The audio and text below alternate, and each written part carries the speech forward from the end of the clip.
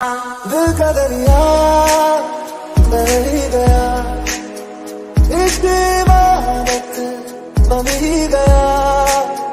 खुद को मुझे तू सौंप दे। मेरी ज़रूरत तू बन गया। साथ ना तेरे पीछे आऊँगा